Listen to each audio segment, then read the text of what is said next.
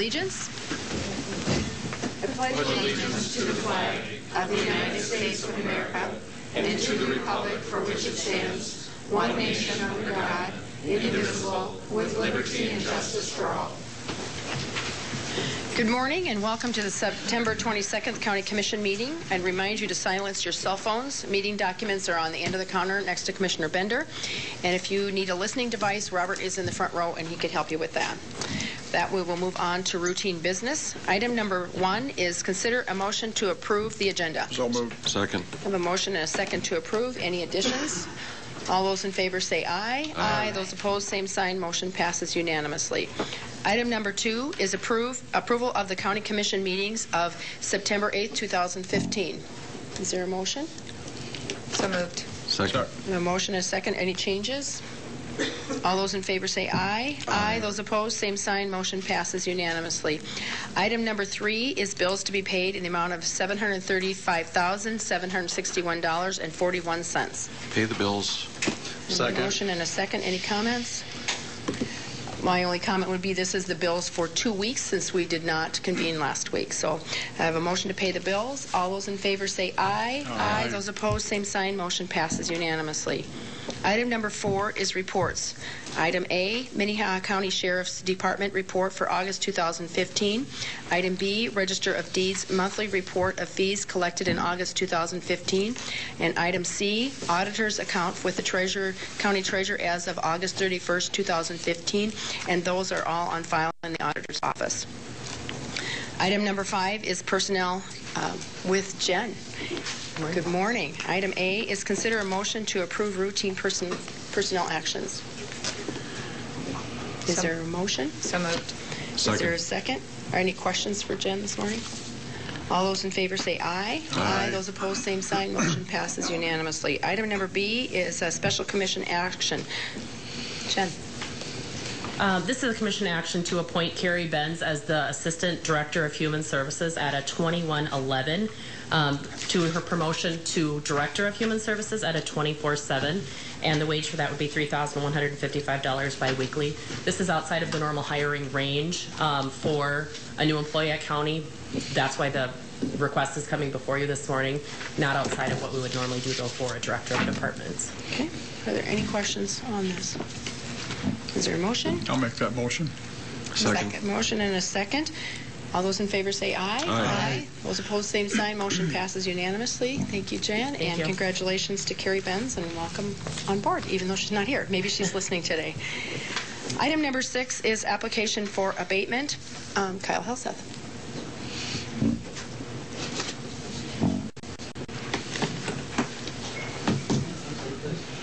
Oh, and we have Pam Nelson first. Um, The first abatement that you are considering today is for um, the purposes of the elderly freeze, so I would ask that you support that abatement. This, I'll make um, the item motion. eight- Okay, I have a motion and a, s- do I have a second? Motion and a second to abate R- RDID number 38605 for 2014 property taxes in the amount of $734.07. All those in favor say aye. Aye. Those opposed, same sign. Motion passes unanimously. Thank you, Pam. Item number B is Diocese of Sioux Falls, RDI number 41943, 2014 property taxes in the amount of $11,283.19. Kyle?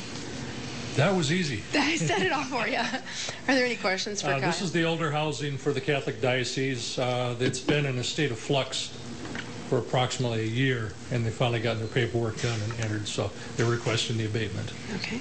Any questions?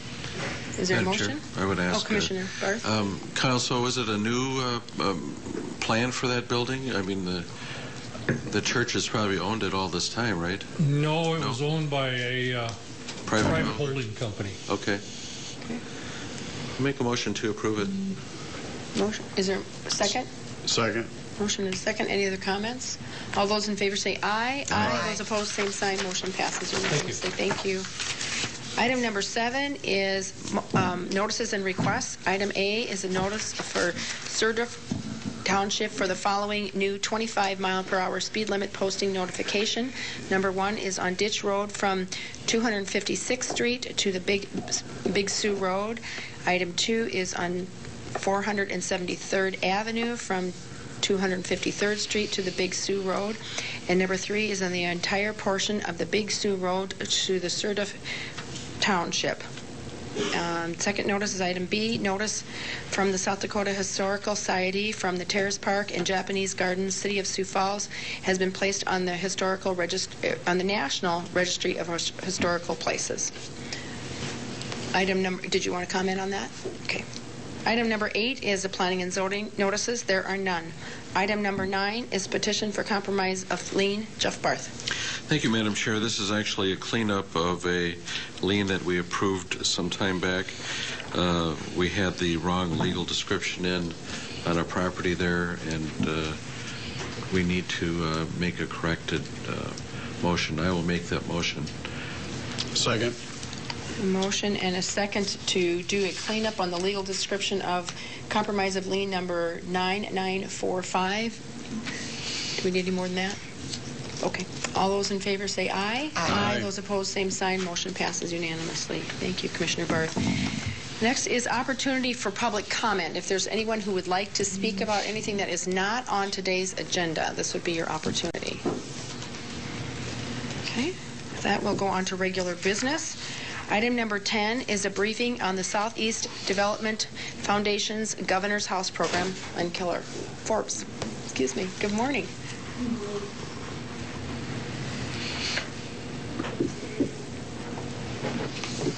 Lynn will just make you identify yourself again Sure. for the camera. I'm Lynn Keller Forbes. I'm the executive director of the Southeastern Development Foundation here in Sioux Falls.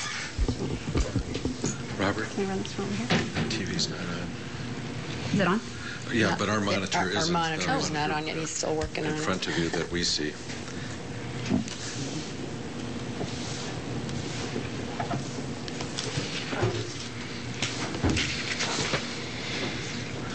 It's okay. I expect technical difficulties. Thank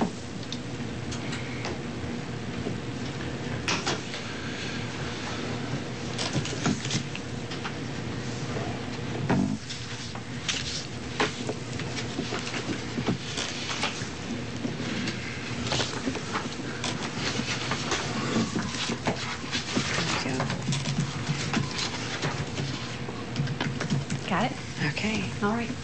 Um, Just to give you kind of a history, not all of you, um, I think Commissioner Bender may not have been at the time, but um, about a year or so ago, I came before you guys and we talked about the possibility of the Southeastern Development Foundation taking some of the lots you received back from taxes and trying to develop those and put them back on the tax rolls. As you're probably aware, doing development in some of the neighborhoods has been a challenge. You have narrow lots that you're dealing with a lot of times. You're dealing with unforeseen things, whether or not the water and sewer is any good. And there's just not a lot of profit margin there a lot of times because it's somewhat of a limited targeted buyer that may want to live in those neighborhoods as well. So it's, it's ideal for low-income, um, affordable housing. It's not something that the private sector has latched on to very much, and so we were asked if we would get involved, and we worked uh, real closely with the auditor Bob Litz on that as well. So in this, in, uh, we're finished with our first three houses, but I wanted to come back down and give you kind of an update of, of what we did, where, where are they at, what do they look like, all those kinds of things. So there were several partners in this. You guys gave us the lots. Um, Southeastern Development Foundation provided the financing, the staffing, all of those kinds of things. The Southeastern Council of Governments receives a $1,200 commission on each governor's house that it sells. They turn around and regifted that back to SEDF so that the homeowners um, to help pay for the appliances.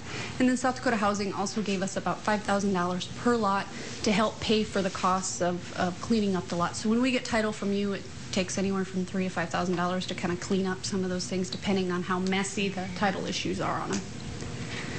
So we developed three houses. They were all three bedroom. They were all two bath. We did attached two car garages on all of them. We did all appliances, including the washer and dryer. And then the one on Grange did have a basement on it. This will give you a kind of, I wanted to do some before and after. So the, one of the lots you gave us was at 120 South Waltz, and this is an aerial of the old picture that was there. And then this is what it looked like. Um, before the city came in and did an emergency declaration, they tore this down within, I think, 30 days because the foundation was falling in. And I think that happened in 2009. So this sat empty um, all of those years. Len, could you Sure. tilt that thing up just there? Is that better? So you're Whoops. talking into it, yeah. Sorry about that. Need to go back.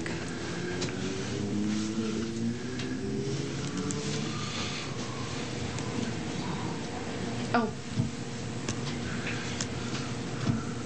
That's what happens when I'm sitting here punching as I'm talking to you. One more. Okay, very good. Okay, perfect. So this is the demo when they were doing it that day, and I guess it was 2011 that they actually demoed this one. So this is the house we ended up putting on there. We ended up putting in um, a garage on the front. We could have put one in the back. It probably would have added about $10,000 to the cost just because of the concrete, so we ended up putting it on the front instead. Um, if you're like me, I don't appreciate shoveling, and so I would much rather have A, an attached garage, and B, one that had less concrete to shovel in the winter. So that's what this one looks like. And there's another picture of it. Um, we didn't have a real up-to-date picture. Unfortunately, the city, when they tore down this house at 201 South Grange, didn't keep a picture of it.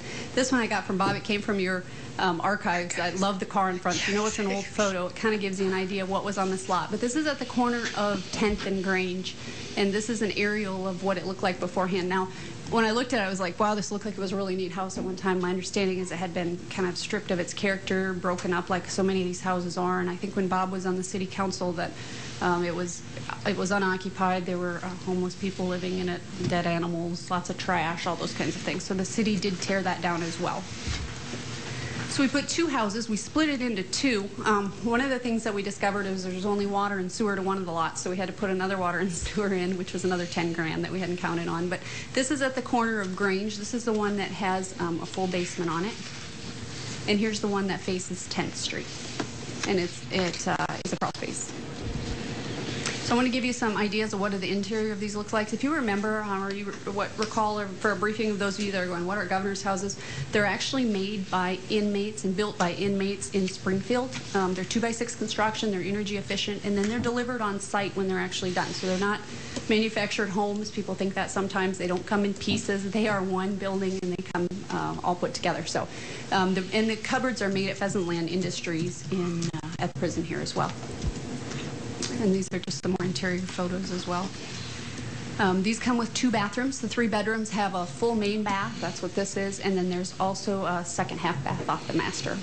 So I want to give you an idea on the sales stuff. We sold the one on Waltz first. It was kind of funny as these things go. Um, we sold all three of these within two days. We didn't even have 10th Street here. We didn't have Grange here. Um, we had people coming in and, and just wanting them, seeing seeing what we had done. Uh, we did, I have my realtor's license, so we did put Waltz on MLS, and that generated enough traffic to sell all of them. So we closed on the two on 10th and Grange on the 31st. Um, the one with the full basement was 129.9, sorry, and the other one with a, um, was 114.9 for the crawl spaces. And then we closed on the other one on uh, 9/11. I wanted to do kind of an economic impact. You guys took a risk with us when you gave us these, and I wanted to see what the payback was on these. And so I kind of estimated, and it may not be precisely, but uh, 2% of the sales tax, and what would that be per year? And, and the annual impact would be about $7,200 in getting those three back on the tax rolls for what we sold them for. Okay. Um, we belong to the National Association of Development Organizations. It's an, um, an organization out of D.C. They ask for innovation awards. I submitted this as something that was different uh, and new, and we were selected for an innovation award, and it'll be given at the annual meeting in October. So um, you also gave us two other lots. You gave us 525 North Holly and you gave us 303 North Fairfax. Um, when we did this, we weren't sure what the demand would be. We weren't sure if we'd end up holding these. Hindsight 2020, we could have done all five of them. They would have all been sold. Um, the governor's houses are about 250 days out, so we have ordered houses for these two, and they'll go um, early next spring. And we're actively looking for additional lots. Um, we're hoping that somewhere in that five to 10 per year is kind of where we think our sweet spot might be. Um, so anything that you have come up in the future, you know, we'd certainly like a shot at uh, maybe being able to replicate what we've already done. Okay. So, thank you. Questions for Lynn? Congratulations on your award. Thank you. That is wonderful. It's great recognition for South Dakota, but also for your office. It's it's just really great that we move forward. And I, I, congratulations to the commission on seeing this as something that would continue to grow our community and something that we can actually do for economic growth with our limited funds. And that's give um, little pieces of land that might not be developed to SECOG and have them move forward with it. So, uh, absolutely a win-win people in their houses out of our problems and paying um, property taxes back to the And, county. and kind of a neat side story to this is the lady that bought the house at 201 South Grange had lived in the house at 810 West 10th Street, and her house burned down in April. So she was displaced. She was living in an apartment. She wanted to stay in the same neighborhood, and so we were able to help her. The people that bought the other two were um, single. Um, I want to say elderly. That's all in the eye of the beholder, but uh, elderly women that uh, bought the other two as well. Okay, wonderful. Thank you, Lynn. Thank you. All right. That will go on to item number 11, which is a briefing by the City of Sioux Falls Water Division on an upcoming Big Sioux Aquifer study. Mr. Anderson, good morning. Good morning. And if you would just identify yourself again and Uh, Greg Anderson, City of Sioux Falls Public Works Water Division. Uh, Here today to talk just a little bit about an upcoming project that we will uh, have coming to uh, map the uh, subsurface, subsurface of the uh, Big Sioux Aquifer from Sioux Falls all the way up to near Dell Rapids. We've partnered with the USGS uh, to complete this task. It's a four-year task. First, uh, first part of the task would be to bring in a company to use an AEM system, aerial electromagnetic system, that will fly over the aquifer in east, west, and north-south quadrants to put signals down into the soil that will actually map the subsoil characteristics of the aquifer. Uh, Sioux Falls has a large investment in the Big Sioux Aquifer. Uh, we have uh, water rights that are up to almost 75 million gallons per day, and when we place wells in the aquifer, uh, they usually cost about two and a half million dollars apiece. Well, with this modern technology where we can actually map the subsurface characteristics, it will actually help us in placement of those wells and get the best beneficial use for the for the dollar.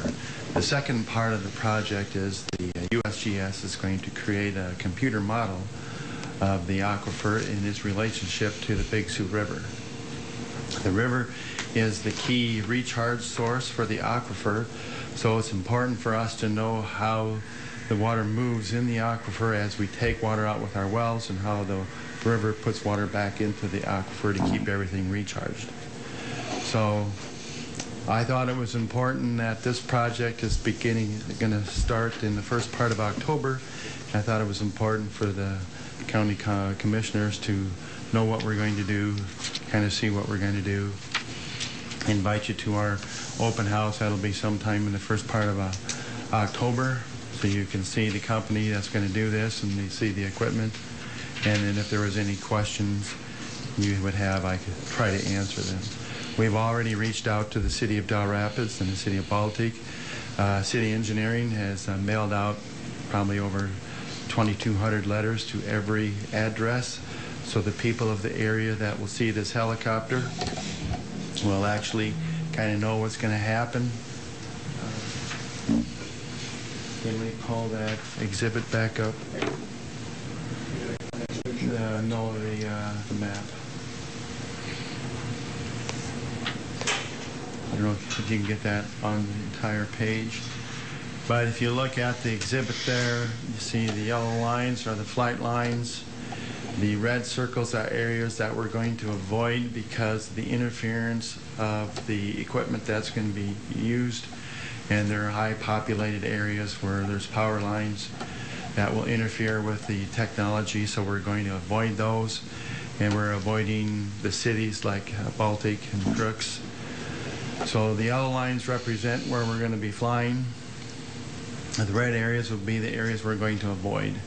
There really is no health effects that we're concerned with. We've been assured that by the company that's going to be doing this, uh, CGG out of Canada, and they're using a Resolve system, specialized equipment and software that's going to collect the data.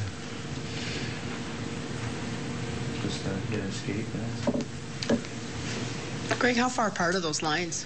Uh, they're about uh, 300 yards. Okay. How long do they expect it to take to fly over that Uh, portion? about a day and a half, actually. Okay, They're, they should be here for about five days. okay. Uh, rain weather would uh, cause them to delay. Okay. How do I get that next picture? Have the people in that area been advised that this is going to happen, or? Yes, uh, we uh, sent out letters to every address, homeowners and renters. So that's what the uh, it's going to look like as the helicopter's flying about 200 feet above the ground, and the probe or the sensor is going to be about 100 feet below that, and they're just going to follow those lines, north and south and east and west. The, uh, the company wants to get in and get out before hunting season. So we're going to try and do that. Not because they're worried about being shot at, they're just worried about spooking the animals.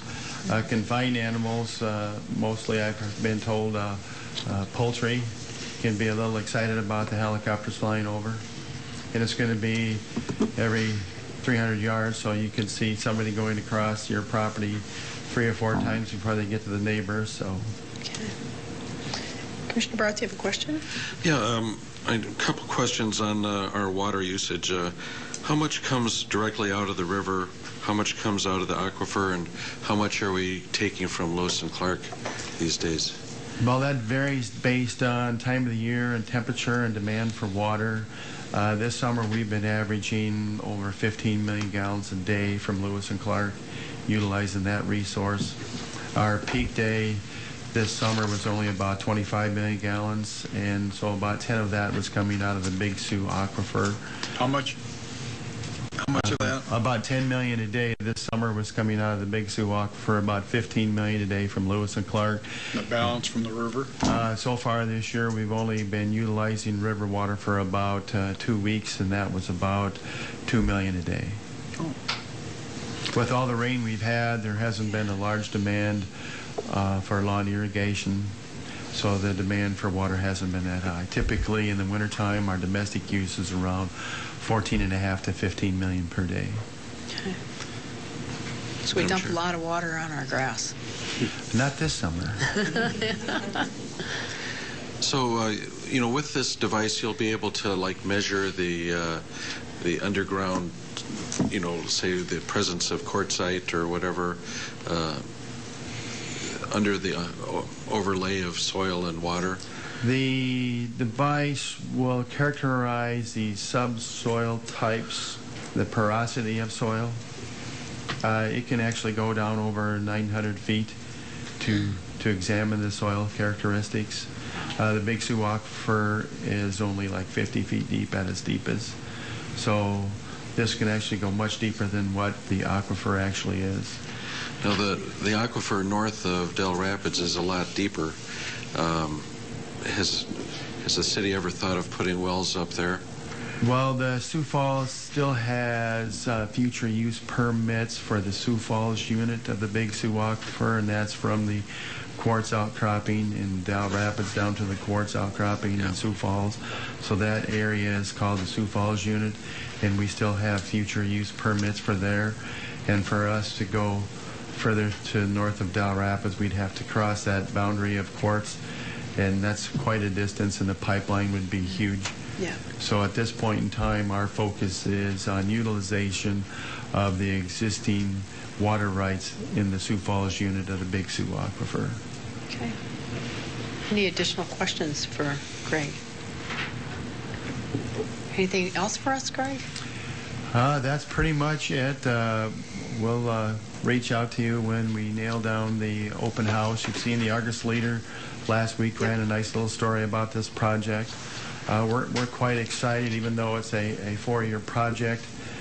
Uh, yes, it will help us with future placement of wells, but the, the, the most exciting thing to me is the model that will demonstrate how water moves from the river into the aquifer and, and how the water moves through the aquifer. So as the, the area grows, the, the Big Sioux is the major source of water, Big Sioux Aquifer, and to be able to plot how the water moves, especially during drought years or extended drought years, so that we can utilize the water in the most efficient and effective way. It'll be paying dividends for decades to come. Thank you, Greg. Thank you for giving me the time to be here. Thanks for thinking of us. All right, We'll move on to item number 12, which is authorize the chairman and the director of emergency management to sign the state and local agreements between Minnehaha County and the state of South Dakota for emergency, for county emergency management. Linda Young, good Good morning, morning. Commissioners. Linda Young, Emergency Management Office. Uh, in front of you is our yearly grant that we work with uh, from the state of South Dakota. Uh, if you recall, the uh, state of South Dakota provides 50% of salary and other, or 50% of reimbursement for salary and other administrative expenses within the office. Uh, for that um, reimbursement, uh, we do a list of project or a list of uh, work efforts for them. Uh, those work efforts haven't really changed much over the last couple years. It's updating and then working on different planning projects as they arrive. Um, last year's grant amount was 227,360.22. Uh, our grant amount won't actually arrive until after the federal fiscal budget um, gets finalized, and then it works down through the state uh, that way. So uh, that's why just about a month ago you signed an addendum. Um, we're a whole year behind from when we actually signed the agreement until we actually get paid for it, but um, that's the pace of government sometimes. So I'd be happy to ask, answer any questions that you have. Otherwise, I need the uh, commission to authorize uh, the uh, chairperson and myself to enter into the agreement with the state of South Dakota. Is there any questions for Lynn? Is there a motion? Move for approval? Second. Motion and a second. All those in favor say aye. Aye. Those opposed, same sign. Motion passes unanimously. Thanks, Thank you, Lynn. commissioners. Item number 13 is authorize the chairman to sign notice of award, special conditions, assurances, and certification for fiscal year 2016 juvenile accountability block grant in the amount of $15,723 for the LSS juvenile MRT program. Good morning, Aaron. Good morning, Erin Surska, JDAI Coordinator, and I'm asking you to authorize the chairman to sign uh, this grant application. We've been getting this grant and acting as the pass-through for numerous years. Last year was the last year of allocation, uh, but it came to our attention, and we were offered the last 15000 that hadn't been spent down the last few years. And the group decided to use the MRT, which is an evidence-based model program that reduces recidivism in kids. If there's not any questions, I'd ask to authorize. We uh, took this to our policy group last week and discussed with LSS what the program was about and how to best use this grant money for continues in the JDAI um, changes of philosophy and programming. So, are there any questions for Ma- Aaron? on Madam? Chair? So is, is this uh, notice of award that we're not applying for a grant? This is, we've been uh, awarded the grant? Uh, They, they technically call it an application. It doesn't get awarded to anyone else, but they have to prove what we want to use the money for. Right. We've already been notified that the money is available for Minnehaha Gotcha. County, but we still had to apply I just for wanted it. to yeah. clarify that. Thank you. Yeah. Any other questions? And I see LSS is here. If there's any questions for them about the programming. I'd make a motion to authorize the chair to sign this notice of award. The Motion, is there a second? Second. All those in favor say aye. Aye. Those opposed, same sign. Motion passes unanimously. Thanks, Aaron. Thank you, LSS, for coming. Um, Item number 14 is consider a motion to authorize the submission of a response to the solicitation of the U.S. District Court, District of South Dakota, Probation and Pretrial Services Office to provide non-medical detoxification services. Robert. Good morning, Commissioners. Robert Wilson, County Commission Office. Uh, For many years, the county has had an agreement with the um, U.S. District Court Probation and Pretrial Services for non-medical detoxification services. Uh, What we're looking for uh, from you today is your authorization to submit a response uh, to the office uh, to continue this, um, this service and, and set a uh, a reimbursement amount. And this is a, a service that is not used uh, particularly often, but basically when um, the the feds have, have inmates that they need to take in, have in custody who need non-medical detoxification services, this is where they bring them. Uh, The rate uh, currently is $140 a day. That was raised last year from $128.59 a day and uh, we are um, uh, recommending a, uh, a response uh, including that, uh, that same rate as $140 a day. Okay. Any additional questions for Robert on this? Is there a motion? I'll move to uh, authorize us to proceed. Second. A motion and a second. All those, uh, for- to set the rate at 140? At 140, yes. Okay. Any other questions? All those in favor say aye. Aye. Those opposed, same sign. Motion passes unanimously. Thank you.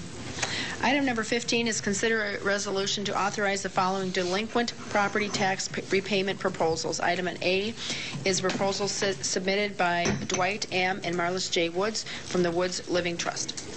Are you talking about these, Robert? I am. Um, As you know, we have the uh, uh, uh, tax deed auction scheduled for this coming Saturday morning, uh, September 26th. Uh, And in preparation for that, uh, the Commission Office, the Auditor's Office, and the Treasurer's Office have been working with uh, occupants on on three of these homes uh, that otherwise would be um, part of the auction on Saturday morning. Obviously, it is certainly a a last, would be a last resort to um, displace uh, folks who are in their home and and move forward with the, uh, with the sale of a, of an occupied structure. Uh, Along those lines, we have uh, made contact uh, with the residents, the former, uh, the former owners of record, to assess their situation, see if there is, is a way that, that we can um, um, come up with a payment plan that, that works both for their finances and gets the, the back taxes, interest, and uh, penalties paid in a reasonable amount of time, get them back on track of being on, uh, on schedule, getting their property taxes paid, takes care of the, the, the county and our fiduciary responsibility to, to collect the taxes and allows them to remain in their home. Uh, to that end, we have three resolutions for your consideration today, one for each of the properties identified.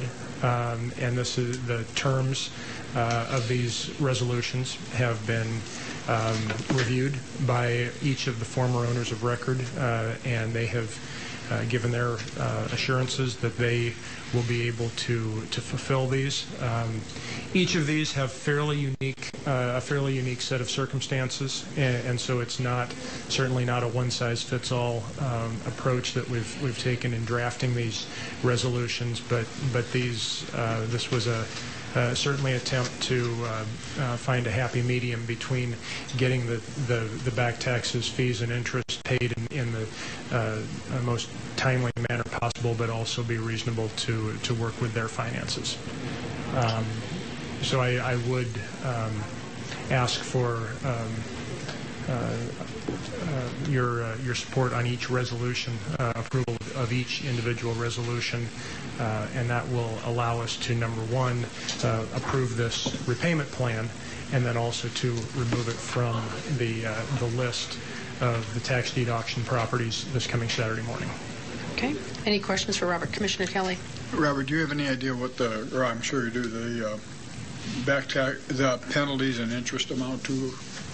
Uh, Yes, that is part of your... um, The memo. uh, Part of the information that's in... Oh, it's that down was below, provided. okay. It's in- Behind, behind each resolution is the uh, tax statement that was Okay. provided by the the treasurer's office. And I would point out that these tax statements, these are as of today.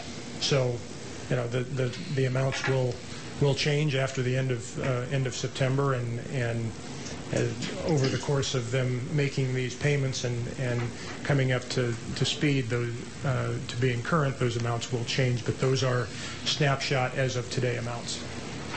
O- Okay, but excuse me. How much is the penalties and interest? Is that in here? Yep. Where am I not seeing it? It's, it's first says original tax, then it says So this is interest. the original amount, these are the penal, the interest penalties in this, so out Okay. of the thirteen four, twenty-three hundred. And do we have, do we have the ability to waive those? I don't, not if we convey those, sorry, Yeah, no, that's fine. not if we convey those back to the uh, No, record, original record owner. They must pay at least the amount owing plus those interest and penalties to gain the property back, so to speak. Okay. Commissioner Barth? Robert, do we know if these people are uh, also exploiting uh, public assistance, and do they owe us any money on liens? We did not uh, look into, into lien, uh, liens that were owed on this one. I, I know there were, there was one case where there was um, some uh, um, an application for uh, benefits that, uh, that were, was not followed through on, and that's now, they're now um, looking to those, to those benefits to, to become more regular uh, on making, on staying current, but to your, directly to your question of a, a tie between these individuals and liens owed to the county, That no. it wasn't county benefits, or was it? No, that was federal. Social Security? I'm going to go through these one at a time. Um, Again, proposal uh, submitted by the Dwight M. and Marlis J. Woods Woods Living Trust. Is there a motion? I'll make that motion. Is there a second? I'll second that. I have a motion and a second. Um, All those in favor say aye. Madam Chair, Oh, can Excuse we me. discuss it? a Yep, little? sorry. Commissioner Barth. Because I tell you what, people that for five years refuse to pay taxes of, you know, in the thousands of dollars, they have valuable properties. They, they're living in, in nice homes and are, are choosing to uh, freeload while everyone else has to carry the burden. I, it's, uh, I find it very irritating, irksome, etc. And the fact that they have you know, personal issues with finance. Hey, lots of people do. I, uh, uh, I'm going to support this stuff, but I'm, I'm not happy that people are freeloading on us and owing us tens of thousands of dollars. Tens of thousands of dollars. It's irritating. Commissioner Beninga? I thought I'm you had a comment. scratching I'm my sorry. ear. Okay, I thought you had a comment. Commissioner Kelly. Commissioner, to your, to your point that I would say internally within the office, we have had discussions that moving forward, uh, we would explore options to maybe look at what maybe could be done in years two and three to connect with some of these homeowners, see- what the issue is. Is, is there something that, that, um, that, that we can do to facilitate uh, getting these things, getting these back taxes uh, up to up to date before they get to this point. So that that is certainly part of the discussion and, and understanding that, that it's a, a concern that we that we do have properties that are that are this delinquent on on the tax rolls. Well, tens of thousands of properties have their taxes paid every year. And the fact that they go for five years without paying a cent, uh, you know, it's, it's irritating. Commissioner Barth, you have to remember that, just a minute, that, that when they pay their taxes, they have to pay them in full. They can't pay a portion of it. And the other thing is, is if we've only got three people out of the thousands of people in Minnehaha County that do religiously and pay their taxes, and I think we have unique situations in all three of these, or we wouldn't even be considering them. That, I mean, and I agree with what you say to some degree, but not completely. Commissioner Kelly. Well, I, I think we need to remember, though, they are paying between $1,300 and $2,400 in interest and and penalties. Um, So they are agreeing to pay in full. Yeah, they're delaying it, but at least we're getting some interest for our money. And uh, I don't know how much the penalties are, but uh, I, I think the fact that they're doing it doesn't bother me. Uh, The threat of a sale usually gets their attention. And if there, if there's one or, one other point I could add on this, when, when they do get to the point of making, of repaying these and getting back to being current, the schedule and the process of how they will repay is that the, the oldest year's taxes remains on, and that is the one that's paid last. So it backs up, and the next to oldest is the first paid, then more, re, one more recent, one more recent, and then the last one to get paid is the furthest uh, furthest back. So the, uh, um, the the county does retain the uh, uh, the tax deed until it is paid in full. So if they renege on what they're supposed to do, they'd lose their property next year. And they would and and they would be uh, at if that were to happen, uh, very likely that it would be on the auction uh, on the tax deed uh, sale next year. Any other comments or questions? Okay, I have a, a motion and a second on item A. All those in favor say aye. Aye. Those opposed, same sign. Motion passes unanimously. Item B is a promo- proposal submitted by Mr. Leslie C. Buckenberg. Is there a motion? I'll make the motion. Second. Second, are there any comments? Madam Chair, I, I think we should mention the, the amounts involved here. Okay. The first one was $9,391.22, and this one is $483.33 as of today. Any other comments? All those in favor say aye. Aye. Those opposed, same sign. Motion passes unanimously. Item C is a proposal submitted by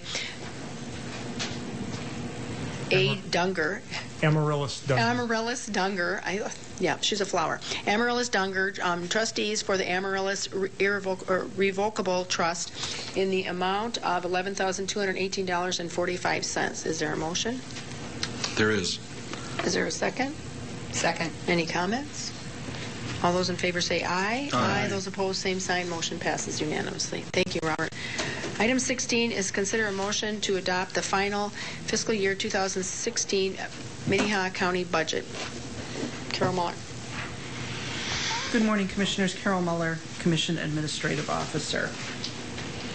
Today before you, you have the 2016 budget to approve. This process began last spring. As commissioners, you have worked with department heads and elected officials to fine-tune a very tight budget.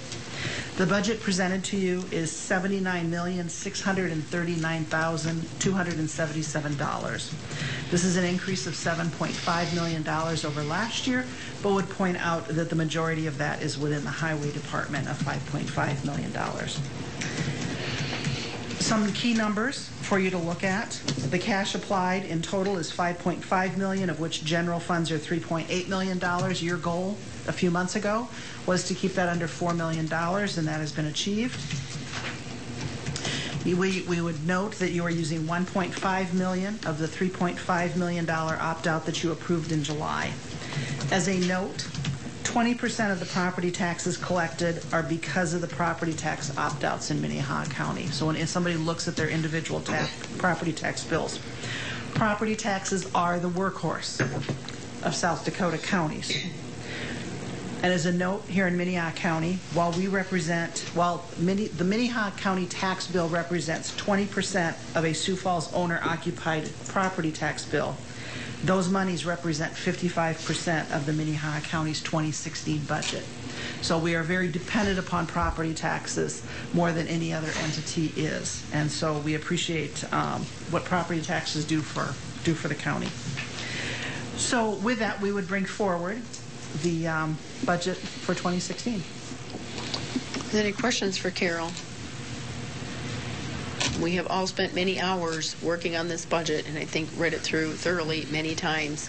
Also, department heads came with their best efforts forward to bring us what was the best and most um, conservative budget that they could possibly give us and still make their offices work. And I applaud you guys for that because I wouldn't want to do it. I don't want to do my job that way. Hard enough to do the budget without starting out and writing at the bottom. So, any other comments? Commissioner Kelly? Some of us spent a year in Pierre last week. and uh, and uh, after the convention, we went obviously to the uh, summer study. I think we're getting the attention of at least some of the legislators as to the problems that we're facing on uh, operating budget and on property taxes. And uh, I did notice that we were like number 18 or 20 was that in, uh, in, in national property taxes. There was an article in the paper the other day, and we were higher, much higher than I thought. However, we don't have the, we do not have the um, income tax, which has made quite a difference. But on the surrounding states, it looks like we're about in the ballpark with our property taxes and valuations. Of course, you go to the Minneapolis area, they're probably higher. So uh, I hope we're going to get something out of them. They asked us at the last day to come forward with some proposals. And so now it's going to be up to the SDACC to uh, be proactive on this thing and come forward. And obviously, we've only got about a month until their next meeting. So uh, I, I think we're we're at least getting the attention. There are some members of, of the legislature that say that well, we spent a lot of money last year on highways, and we're not going to be very conducive to spending any more. But uh, I think generally they understand our issue, and uh, hopefully, if we uh, continue to talk to our legislators, and you know, as the public understands more and more what our problems are, then uh, hopefully we'll be able to get ourselves into a better position to at least at least keep up with inflation and at least keep up with the cost uh, demands that are being held on us. Additional comments? Madam Chair, Commissioner Barth? I'd make a motion to approve our budget for next year. Um, This has been, I think, the longest budget process I can remember. It seems to me we've had about three provisional budgets that we've approved, and uh, today might be the day when we finish with this budget process and begin the next budget process, but I make a motion to approve it. Is there a second? Second. Motion and second. Additional discussion? To speak to, Commissioner Kelly said they gave us about a month to um, come up with proposals. We have given them some proposals, but I think there was kind of a specific question, Carol, as far as they're looking for what we specifically need. Yes, one of the things that the um, legislators on the summer study did ask for was uh, what, what's the amount that counties would need in order to take care of the burdens that they aren't able to do, and uh, also what would they be spending that on. So I know that they appreciated Commissioner Kelly coming out with a ballpark of about 50 to 70 million dollars in total. They appreciated that number, would like to have that drilled down so that they know specifics. So I'm just wondering, is our office going to be facilitating with at least what Minnehaha County needs to Yes, we send can certainly out? submit, submit for that. Um, I'm wondering what our state office is going to do. Um, If we just need to send our information on them and strongly encourage them to get information from all counties, not just Minnehaha County, um, for those that weren't at the meeting and heard that directive from the legislators. Commissioner Heiberger, I also would submit, since we talked a little bit about this last week, was also the impact of the TIFs. Um, The impact of the TIFs that are payable in Minnehaha County, uh, that are, that is our share of the TIFs, payable in 2016 is $421,000. This is roughly 1% of the property taxes that are collected for Minnehaha County's operation. Four of the TIFs are located outside of Sioux Falls, 11 of them are located within Sioux Falls. The impact of the TIFs on our budget range from 79 cents, that's the smallest one, to the largest one being $106,484. The $421,000 is a 22% increase over last year, and the prior year over to that was 18%. Another way to look at that is that the TIFs, that $421,000 represents 28% of the $1.5 million opt-out. And next year, it's just going to be bigger. Any other comments about the budget before we vote? Commissioner Beninga? What specifically are they asking for in reference to the estimate on taxes uh, and the growth of that? Are they looking at just 2017? Or are they looking for projections of years down the road where we're going to see typical significant increases in public safety? The legislator? Yeah. The legislators, the legislatures did not give a real defined box as to what they're looking for. Um, I will tell you that what I would propose that we submit forward is um, an assumption of a few years down the road when we've got a jail up and running and saying we need to go through and pay for that. So that would be my assumption moving forward. Well, to me, that's an extremely unique question because out of the 66 counties or whatever there are, there's certainly not 66 identical needs. Uh, and to make a one equation conversation about how that gets funded is more than a challenge.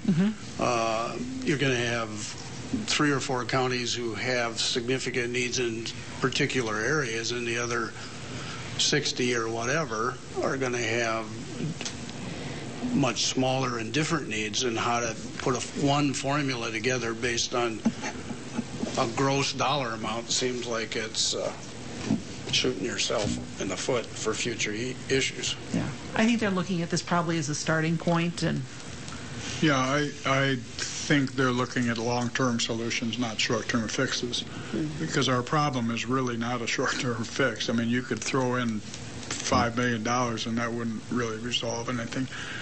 It may be a lot of, a little incremental stake, uh, including the, the uh, alcohol, the distribution of that tax. They were very uh, I thought positive on that. And um, so, and that's what we need is, is a, is a long-term look at this thing. How do we get the counties in better positions to have the revenues to, to take care of the expenses? Your point about differences, uh, two counties, Bennett and Jackson, I'm sure there are others, uh, and I can't remember, is it like under 200 taxpayers in Bennett County or Jackson, one or the other? Uh, you know, 60 or 70 percent of the land is in trust land. And so they have just, you know, like a couple hundred taxpayers supporting the county, and the trust lands put demands on the counties. So they're, you know, that's a, and those people are very close to, uh, uh, they're, they're operating on the, just on the edge already. Uh, then you go to Minnehaha County where our jail needs are, and I think there's only 15 or so jails in the county. I can't remember the number, but uh, of the 66, you know, the vast majority of them don't even have jails. So uh, here again, it falls back on us. They talk about regional jails, uh, but we better have the, you know, if that's going to be the case, then you can better have the region bringing in the money on the original 30 or 40 or 50 million dollars it's going to cost. So, uh, but the one issue is, of course, that it's one county, one vote as far as South Dakota Association is concerned. Uh, that makes it a little difficult for the top 10 counties to have uh, too much of an influence there other than trying to sell them. And they're concerned. They're always concerned that all the money is going to go to Lincoln, Minnehaha, uh, Brown, Pennington.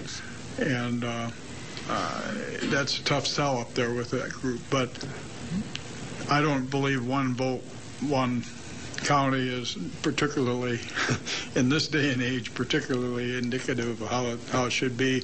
I realize you got to protect the small counties, but that that's what we're facing, and, and so to get something that the, that supported the association behind it, and I, I think it needs that.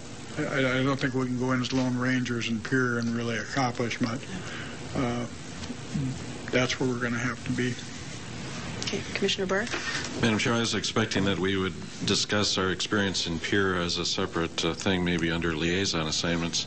But as far as talking to the uh, summer study folks, uh, yeah, we made some progress, I think. I think that uh, there's a better understanding and certainly uh, a couple of uh, senators were surprised at, at things.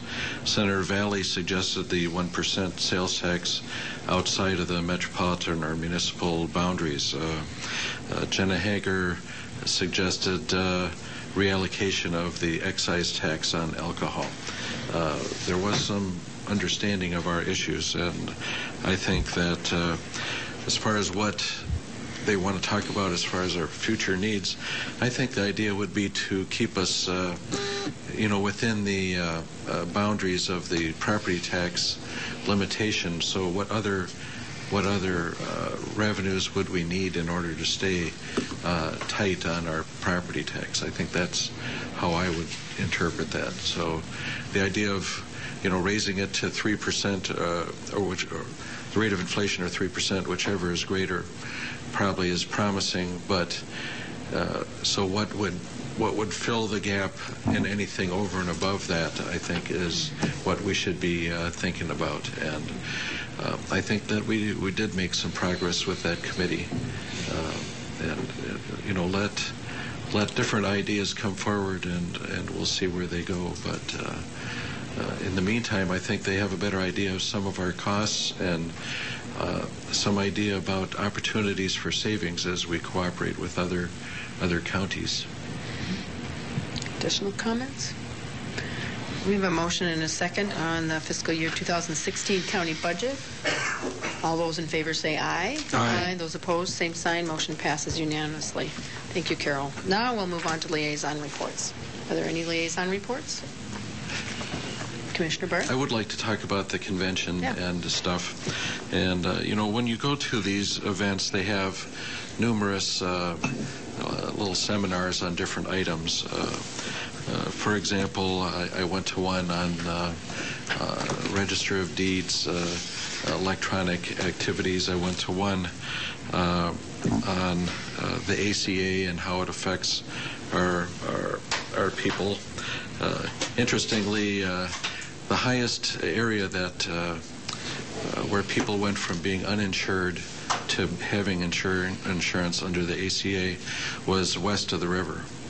Uh, the, the eastern side, we were doing a lot better before uh, the ACA, and you know, I didn't fully understand how uh, how the subsidies end uh, for people uh, below $11,000 a year, but that's in fact what happens since we've not chosen to have Medicaid expansion. Um, so people, you know, making 25 grand a year can get help from the the government to uh, pay for insurance. People making less than 11,000 are dependent on county assistance.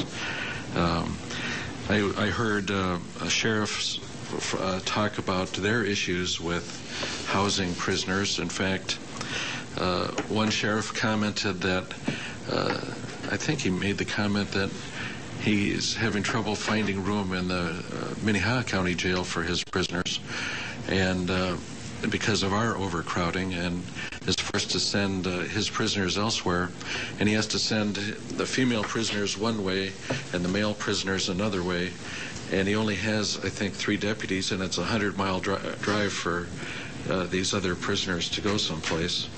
And so, you know, you drive them there, and the next thing you know, uh, they have to come back for court, and you have to go get them. And uh, in any case, uh, the the issues of jail capacity seem to be uh, sweeping across the state, and it's it's not something that we in Minnehaha County are are having alone, and it's something I think we need to address uh, soon.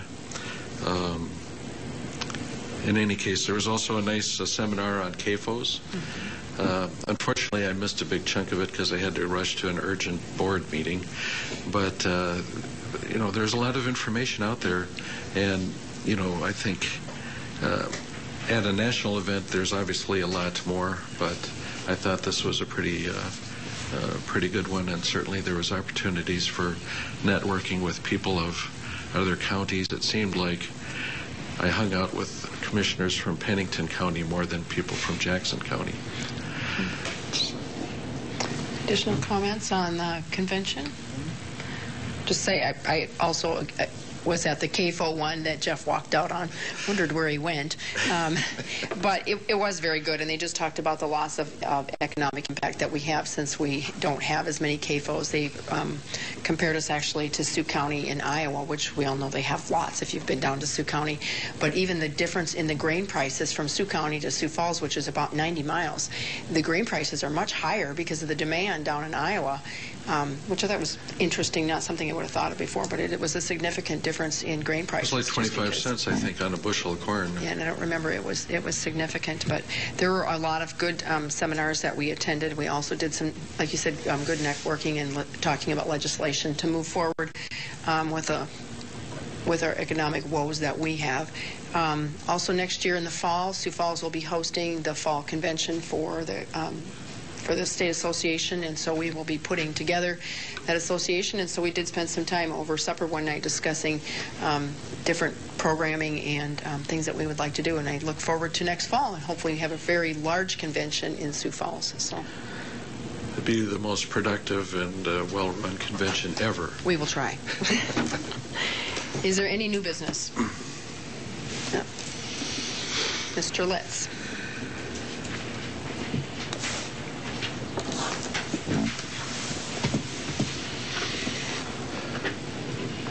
Morning, Commissioner Bob Litz from the Auditor's Office, and uh, uh, I'd like to speak a little bit about uh, our, my recent arrival here. Uh, a while back, you approved the purchase of a third DS850 ballot mm. tabulation machine. It arrived this week. We've unpacked it. Uh, we're waiting for uh, ES&S to come and assemble it. so uh, we're we're real excited about getting that machine in there and uh, and integrating it with the other machines, testing it, uh, do the acceptance testing, and testing it with all the ballots. Um, one other thing election related came up is that uh, yesterday Darlene Kim and myself walked over to the Coliseum because I talked about having uh, sort of a, uh super center, if you would, of uh, you know uh, election activities all in one room, which uh, has a very strong appeal to me. And uh, I have found out that they have kids in there every day in, in that Coliseum now. I don't know if we can work something out with that or not, but uh, kind of threw a little rain on our parade in that regard. And I also wanted to thank Commissioner Kelly because he came in to the Secretary of State's uh, presentation on total vote and sat in there for a while, and I think uh, uh, became aware of some of the astonishing complexities with that system.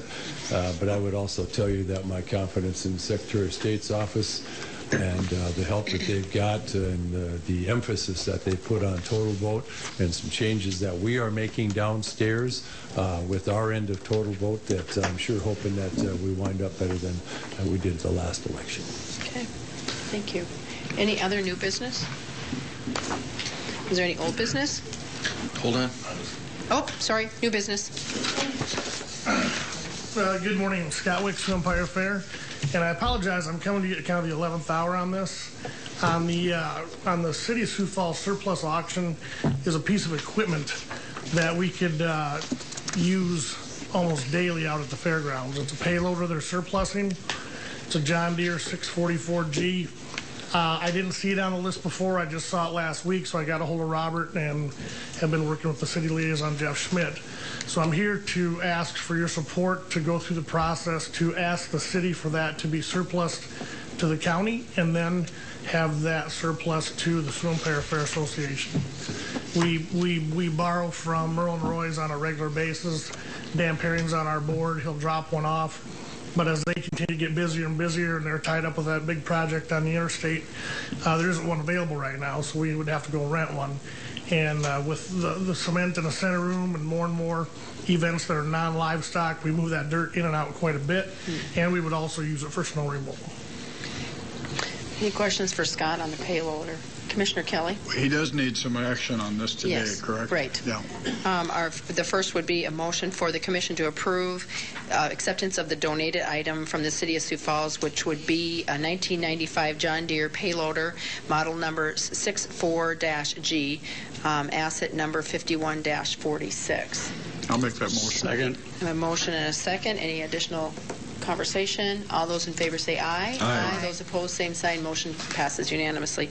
The second motion would be for the commission with a unanimous vote to appro- approve a resolution donating this item, which I just referenced, to the, to the Sioux Empire Fair Association, um, contingent on the city donating the item to us. I'll make that motion. Second. A motion and a second. Any other comments? Do we have what you need, Cindy? Okay. All those in favor say aye. Aye. Those opposed, same sign. Motion passes unanimously. Go drive around. Thank you very much. Enjoy your tractor. All right. Uh, No other new business? Is there any old business? Okay. I'd look for a motion to adjourn into executive s- session for contract negotiations. And if I may, uh, also for litigation, legal briefing. Okay, and for litigation. So moved. Second. Motion and second. All those in favor say aye. Aye. Those opposed, same sign. Motion passed unanimously. We are adjourned. Thank you.